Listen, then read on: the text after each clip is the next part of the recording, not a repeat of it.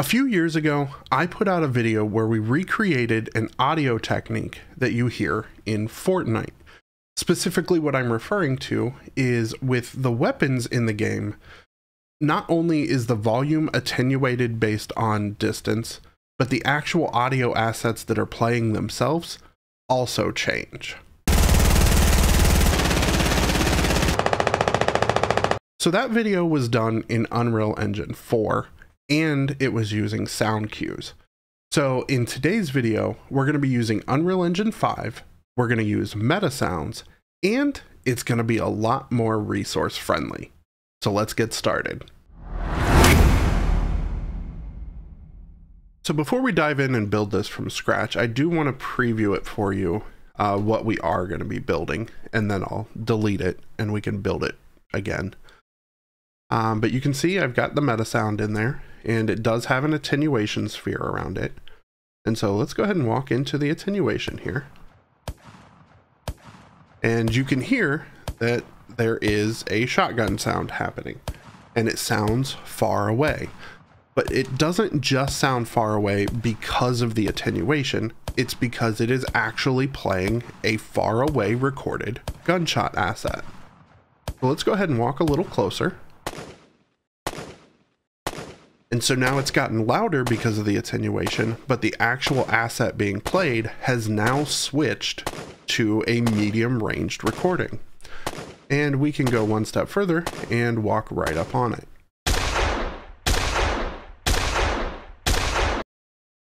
So you heard it got louder, again because of the attenuation, but because it then switched assets. And the cool thing about this is I can actually just completely remove the attenuation and this still works. Now, without the attenuation, you are going to get every single asset at full volume, but I just want to show you that this works without attenuation. So we've got our far away gunshot.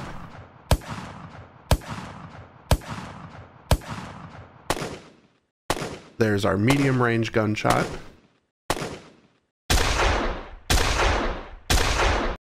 And our up close gunshot.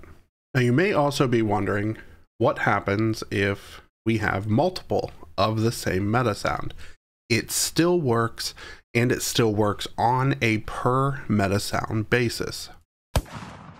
I've got three of the same MetaSounds in here. And if I get closer,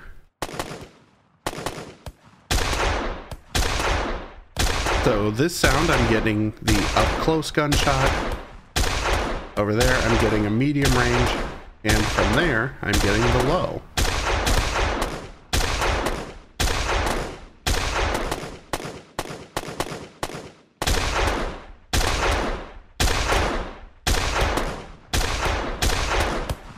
Now, inside our content browser, I've got three gunshot sounds. I've got our close, our medium, and our far away. And so let's go ahead and start building the MetaSound for this. So like we normally do, create a MetaSound source. And I'm going to call this MSS underscore, uh, we call the other one shotgun. I'm just going to call this weapon, just so there's no confusion.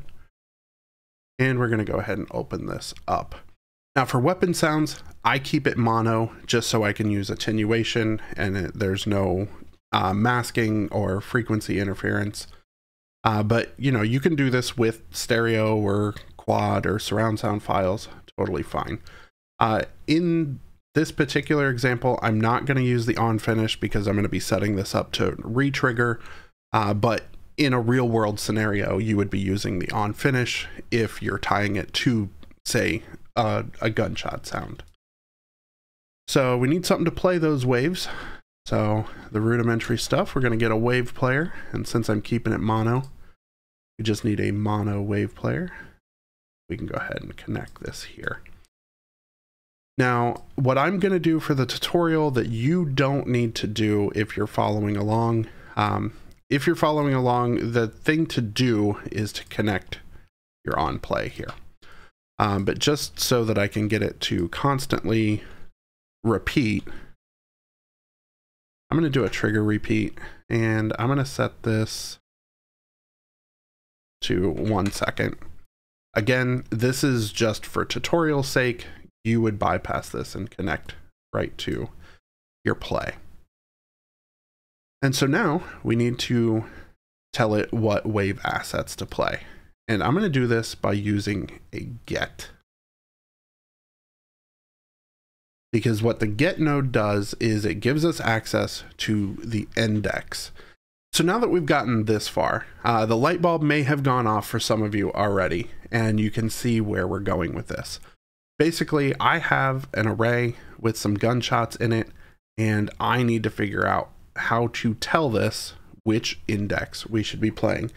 And you can do this with a bunch of assets, like say you have subsets in your array of various close range, various medium, various far. Uh, you can certainly work out how to do that. But for this tutorial, I'm just using one of each. So we need something that is going to basically get the distance between the source and our listener. And the way that we're going to do that is we're going to come over to our interfaces and we're going to get this attenuation interface. And what this does is it gives us access to this distance node. And what this node does is it calculates the distance between the listener and the sound source. More often than not, the listener is on the player, but you can set up listeners in other things. Like, say, if you're doing AI and like NPCs that are patrolling and listening for sounds and things like that. But basically, it is specifically designed to get the distance between the source and the listener. Now, this measurement, if we mouse over it, uh, it does say it's the distance between listener and sound location in game units. And I'm sure some of you are probably screaming at your screen right now, what the hell is a game unit? And a game unit is simply Unreal's predefined unit of measurement. And if I remember correctly, uh, but don't quote me on this, I believe 100 game units is supposed to be the equivalent of a real life uh, meter. So if we have 100 game units, that's one meter. If we have 1,000 game units, that's 10 meters. Now, we need to figure out what we're doing with this information. And so what we're going to do is I want to check every time this value changes so we can do a trigger on value change. And because the player is going to be moving, this is going to change quite frequently, but it is still more performant than an event tick in just this situation where if you're standing still, this doesn't change. So off of our trigger on value change, we need to do some logic checks. And the logic check we're going to do is essentially a true false.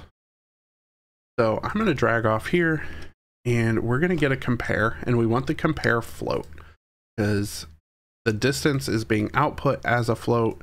And so that's what we want to check. And this is where we're going to put in our first distance. So you can put any numbers you want in here but I'm just going to go ahead and throw a thousand in there just to make it simple. And we're going to do less than or equal to. So if this distance is a thousand or less, we want to do something with that. If the value is false, we need to do something different. So if the player is farther away than a thousand, we need to do another logic check. And so we're going to do another trigger compare and another float.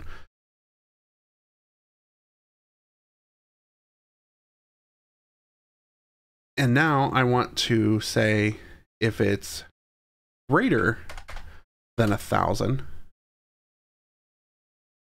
oops, greater than, we're going to spit off true here. But because this middle is kind of a range between two numbers, uh, if it's greater than a thousand, you want to do yet another logic check, which technically I can just copy and paste this over. But we want it less than or equal to 2000. Hey guys, quick editor's note here. Uh, you actually don't need this second compare node. Um, if it's not less than a thousand, of course it's going to be greater than a thousand. My bad. Let's continue. And so now, if it's less or equal to a thousand, this is true. If it's greater than a thousand, we're moving on to our next check. And so now, if it's between a thousand and two thousand, this is going to be true. But we also have a far away gunshot sound. So we need to do something off this false. And so now we're going to keep that 2000 and we're going to switch this to greater than. Yep, you guessed it. Don't need this one either. Just run off of your false. And we need to run our values out here like we did with the first one.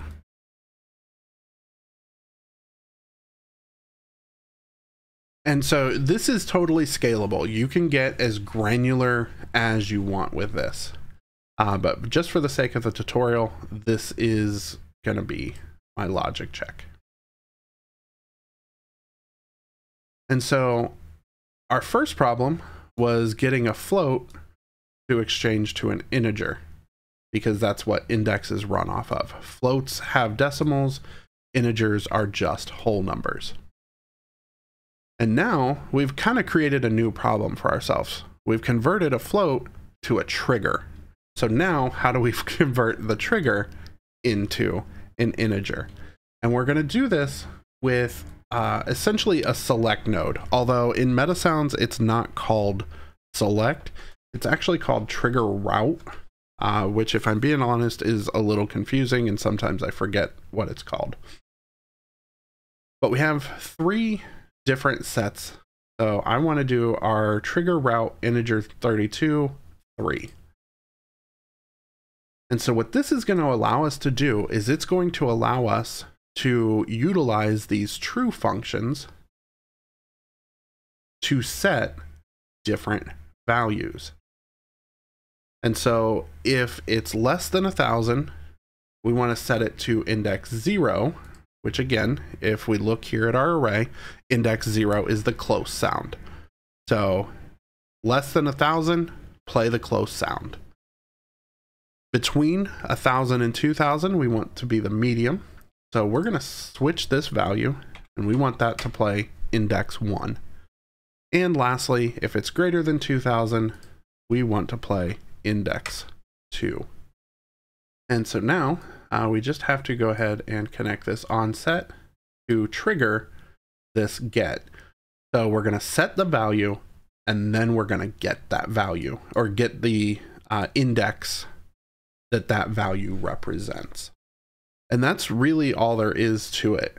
Um, you can use this logic in multiple different ways, uh, but just to kind of button everything up, I am going to go into my source. I'm going to select play when silent and I'm going to go ahead and just add that attenuation, uh, just a generic attenuation that I created.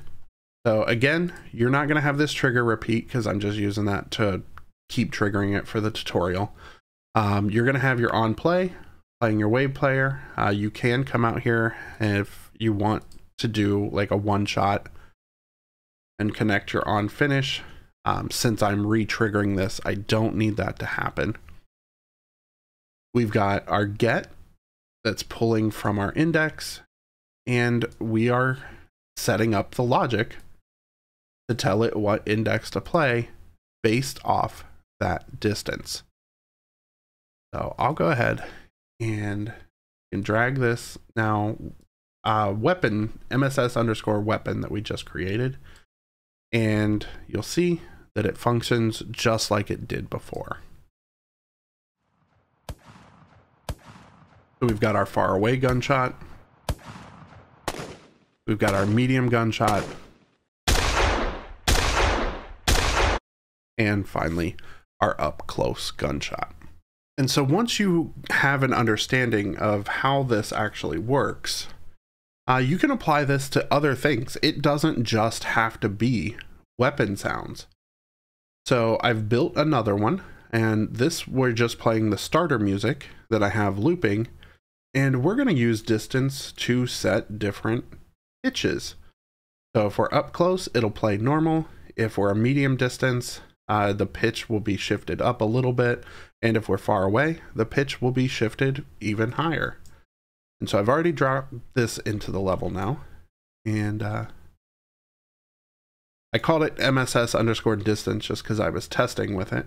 But you can hear. We've got that music and it's pitched up quite a bit. Now we're at a medium range, so that pitch dropped. And now the pitch is at zero because we're up close to it.